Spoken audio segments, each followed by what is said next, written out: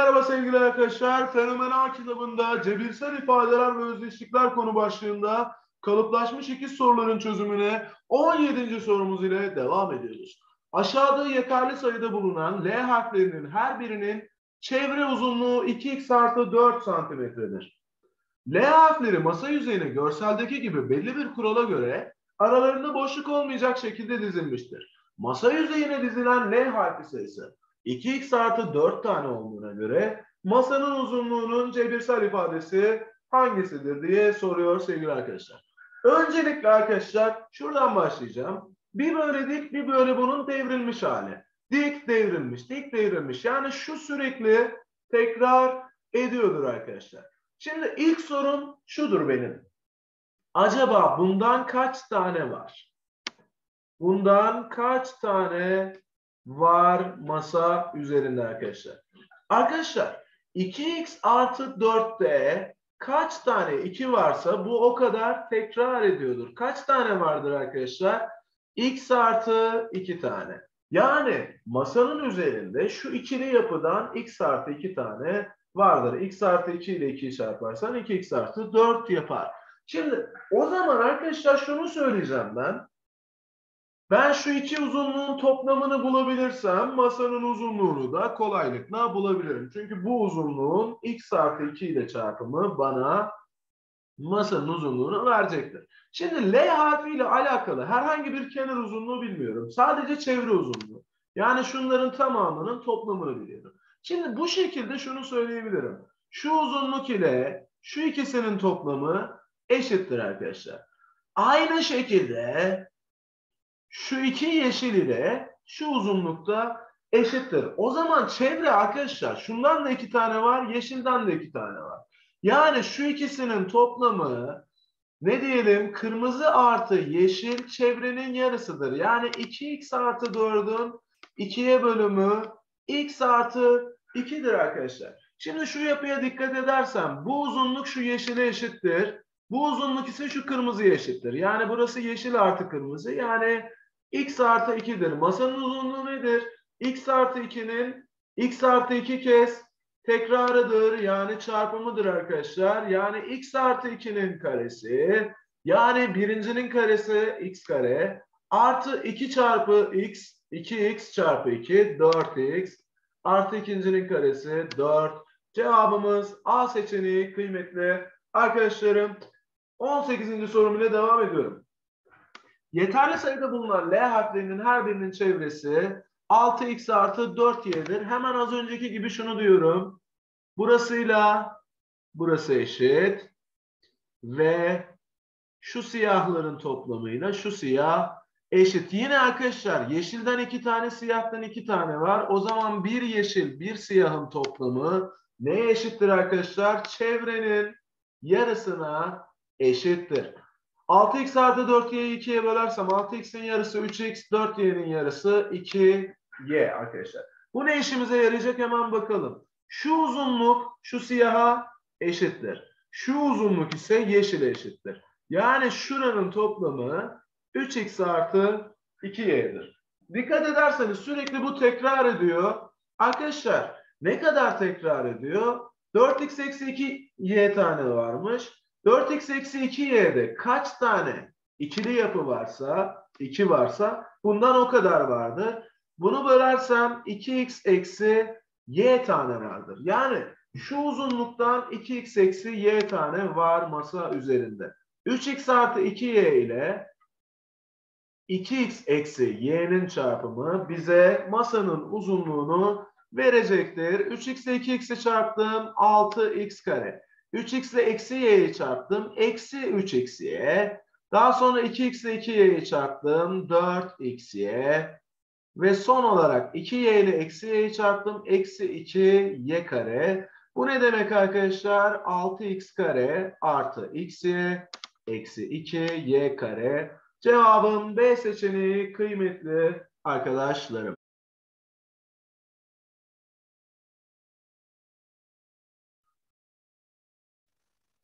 9. sorumuz ile devam ediyoruz sevgili arkadaşlar. Şekil 1'de küp şeklindeki sandığın sağ ve sola açılabilen iki kapağı vardır. Kapaklar açıldığında sandık şekil 2'deki gibi görünmektedir. özdeş 5 tane sandığın kapakları açıldıktan sonra aralarında boşluk olmayacak şekilde aşağıdaki gibi diziliyor. Şekil 1'deki sandığın bir ayrıtı x eksi 3 santimetre olarak verilmiş. Bize şekil 3'teki yapının üstten görünümünün alanını soruyor arkadaşlar. E şekil 3'te dikdörtgen şeklinde bir yapı oluyor arkadaşlar. Uzun kenarı burası, kısa kenarı da bu uzunluğa eşit. Şimdi bize bu uzunluğu x eksi 3 olarak vermiş. E o zaman arkadaşlar öncelikle şurayı bir temizleyin. Tekrar yazdım. x eksi 3 dedim.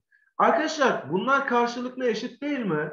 E o zaman şu iki kapağın toplamı x eksi 3'tür. Ben sadece tek bir yapıya baksam çünkü bundan 5 tane tekrar edin.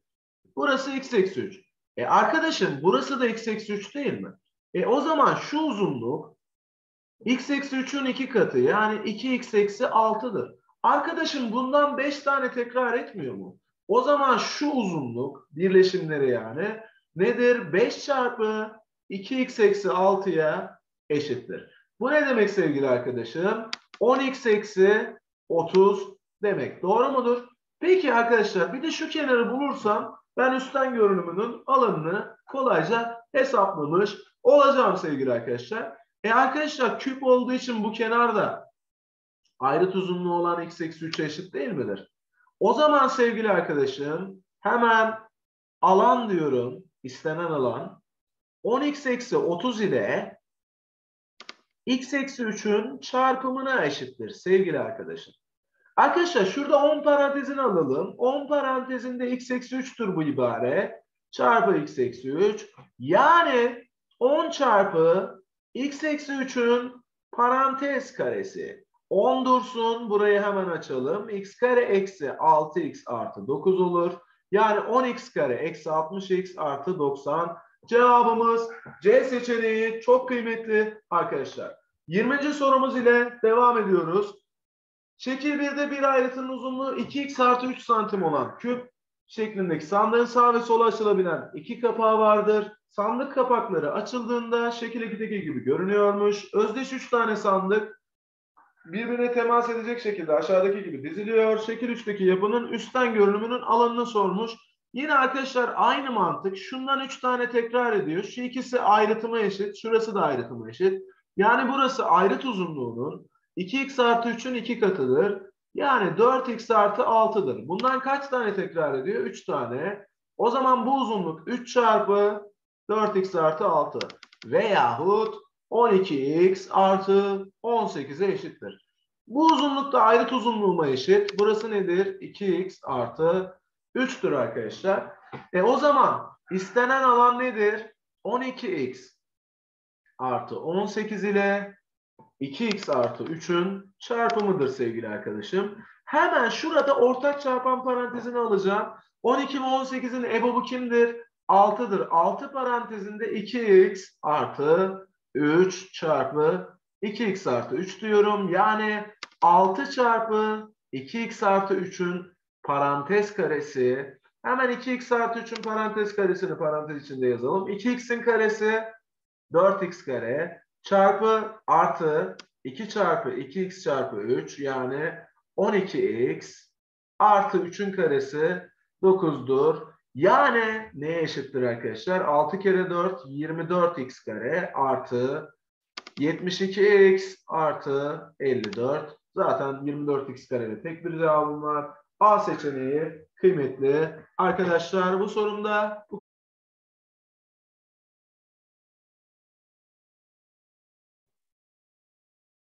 21. sorumuz ile devam ediyoruz sevgili arkadaşlar. Kare şeklindeki bir kağıda kare şeklindeki iki özdeş etiket köşegenleri karenin köşegeniyle şakışak şekilde yapıştırılıyor. Kağıdın etiket yapıştırılan yüzey üzerindeki beyaz bölgelerin alanları toplamı 2x kare artı 8x artı 8 olarak verilmiş şu ikisi. Ve etiketlerin 4 santimetre karelik yüzeyi üst üste gelmiştir. Bu arada etiketlerin özdeş olduğunu söylemiştir. Bize neyi soruyor? Kağıdın bir yüzünün alanı. Yani arkadaşlar şu kenarı x cinsinden bulmamız gerekiyor sevgili arkadaşlar. Şimdi arkadaşlar öncelikle şu ikisinin aynı olduğunu biliyoruz. Doğru mu? Ben buraya z diyeyim. Burası da Z olur bu durumda. Doğru mu? Şimdi üst üste çakışan bölge arkadaşlar bir karedir. Alanı 4 ise buranın 2 olduğunu söyleyebilirim. Şimdi arkadaşlar şu uzunluk nedir acaba? Şu aşağıdaki uzunluk. Tamamı Z ikisi gitti. O zaman şuraya kalan Z eksi 2'dir. Benzer şekilde şunu söyleyeceğim sevgili arkadaşım. Acaba bu uzunluk nedir? Buranın tamamı Z idi. İkisi gitti. Z eksi 2 diyebilirim. Aynı şekilde burası da Z eksi 2. Burası da Z eksi 2 diyebilirim sevgili arkadaşım. Yani buradan şuna varıyoruz arkadaşlar. Şu iki boşluk kare şeklinde ve özdeştir. İkisinin alanı neydi? 2x kare artı 8x artı 8'dir. Birinin alanı nedir bu durumda? Bunun yarısıdır. x kare artı 4x artı 4. Bu arkadaşlar bir tam kare ifadedir. Burası x'in karesi, burası 2'nin karesi. O zaman bu ifade x artı 2'nin karesine eşittir. Bu ne demek sevgili arkadaşım? Yani bu boşlukların kenar uzunlukları x artı 2'dir. Artık z'yi boş verelim mi? Gitsin z. Çok önemli değil. Silelim. Biz neyi bulduk? Beyazların kenar uzunluklarını x artı 2 olarak bulduk arkadaşlar. E o zaman şurası da x artı 2. Arkadaşlar şu kenara dikkat edelim. x artı 2. Şurası da x artı 2. Şöyle şurası x artı 2. Burası da 2. Doğru mu? O zaman kenar uzunluğum nedir arkadaşım? Hemen şu tarafa yazacağım. 2 tane x var. 2x. 3 tane de 2 var. 6. Yani kağıdın kenar uzunluğu 2x artı 6'ymış. Alanı nedir arkadaşlar? 2x artı 6'nın karesidir. 2x'in karesi 4x kare artı 2 çarpı 2x çarpı 6 artı 6'nın karesi 36. Düzenlediğimde 4x kare artı 24x artı 36 sonucuna ulaşırım. Cevabım D seçeneği kıymetli arkadaşlarım. 22. sorum ile devam ediyorum. Sarı renkli kare şeklindeki bir kartonun üzerine kare şeklinde 3 özdeş etiket aşağıdaki gibi yapıştırılıyor ve etiketlerin 4 santimetre karelik kısımları üst üste gelmiş arkadaşlar. Kare şeklinde olduğunu da burada belirtmiş. O zaman şuraların ikişer santim olduğunu söyleyebiliriz çok hızlıca. Bize bu arada sarı bölgelerin alanları toplamının da ne olduğunu söylemiş arkadaşlar. 6x kare artı 12x artı 6 olduğunu söylemiş sevgili arkadaşlarım. Şimdi aynı mantıkla gideceğiz az önceki soruyla arkadaşlar. Yine bize kartonun bir yüzünün alanını soruyor. Arkadaşlarım şimdi öncelikle ben şu uzunluğa z dersem buraya z eksi 2 kaldığını söylerim. Doğru mu? Aynı şekilde burası da z'dir. Buraya da z eksi 2 kalır. Doğru mudur? Aynı şekilde buraya da z eksi 2 kalır. Doğru mu? Arkadaşlar şunu çekersem buraya da z eksi 2 kalır. Doğru mu? O zaman şunu söyleyebilirim. Bir sarı bölge 3 eş kareden oluşuyor arkadaşlar. E o zaman arkadaşlar şunu söyleyebilirim. Bu ikisi de eş bu arada. 6 eş karenin alanı neymiş arkadaşlar? 6x kare artı 12x artı 6'ymış. O zaman bir karenin alanı ne çıkacaktır? Şu sarıların alanından bahsediyoruz.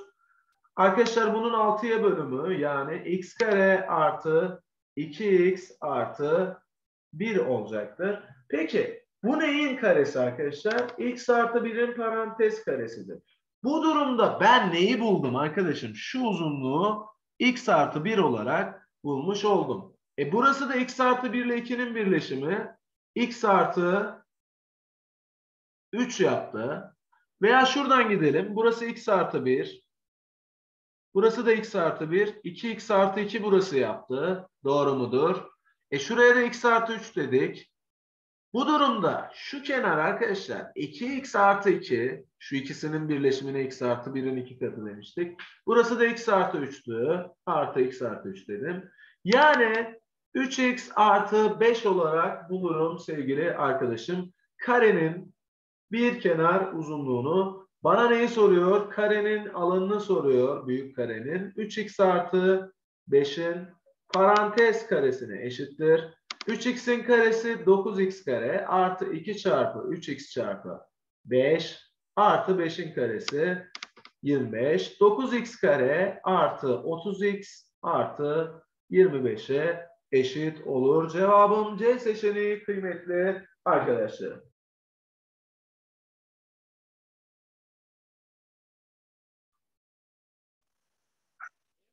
sorumuz ile devam ediyoruz sevgili arkadaşlar. Kare şeklindeki bir tangramın boyalı ön yüzlerinin alanları toplamı 16x kare artı 16x artı 4 santimetre karedir demiş. Şekil 1'deki tangramın bazı parçaları şekil 2'deki gibi bir araya getirilmiş. Şekil 2'deki tangram parçalarından oluşmuş yapının üst yüzünün alanını bize soruyor sevgili arkadaşlar. Öncelikle şunu söyleyeceğim sevgili arkadaşlar. Şu uzunluk karenin köşegenidir. Köşegen karenin alanını ikiye böler arkadaşlar. O, o, bu durumda şu üst kısmın alanı yani mavi ile sarının toplamı tüm alanın yarısıdır. 8x kare artı 8x artı 2'dir sevgili arkadaşlar. Yine dikkat edin köşeden çıkmış bu uzunluk. Yani burayı da iki eş parçaya ayırmış. Bu durumda mavinin alanı şunun yarısıdır. Yani 4x kare artı 4x artı 1'dir kıymetli arkadaşlar. Şimdi bu bir dikdörtgen değil mi? Dikdörtgen içine bu şekilde bir üçgen çizdiğinizde üçgenin alanı dikdörtgenin yarısı olur hatırlarsanız. O zaman dikdörtgenin alanı bunun iki katıdır. Yani az önce bulduğumuz ifade 8x kare artı 8x artı 2'dir. Ben bu ifadede tüm çarpanların ortak çarpanı 2x olduğunu biliyorum. Tüm terimlerin çok pardon. 2 parantezinde 4x kare artı 4x artı 1 olduğunu söyleyebilirim. Acaba bu kimin karesidir diye düşünüyorum. Sevgili arkadaşlar burası 2x'in karesi, burası 1'in karesi. E ortayı da veriyor mu? 2 çarpı 2x çarpı 1 veriyor. O zaman şu içerideki ifade 2x artı 1'in karesine eşittir derim. Cevabım A seçeneği olur kıymetli arkadaşlarım.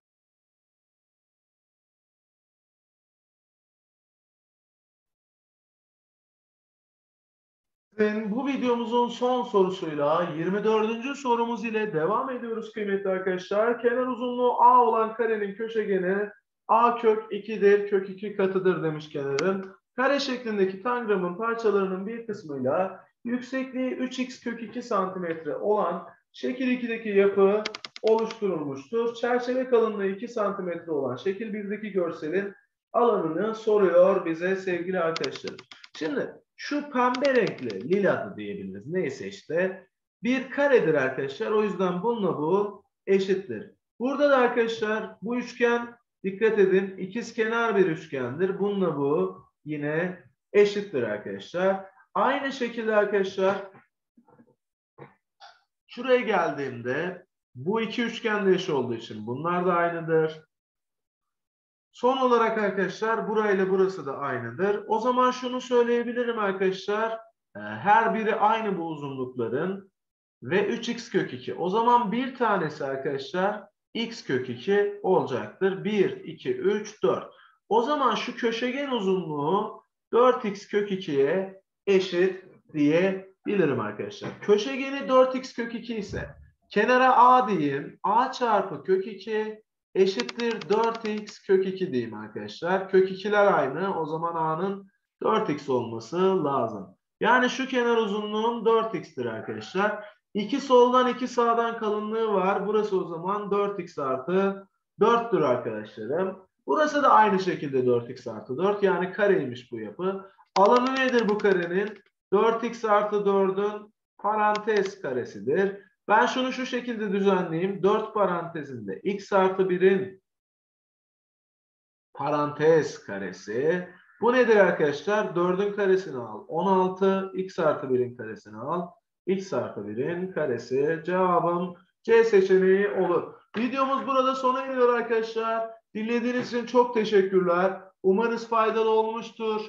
Videomuzu beğenip yorum yapmayı, arkadaşlarınıza tavsiye etmeyi unutmayın. Kendinize çok iyi bakın. Bay bay.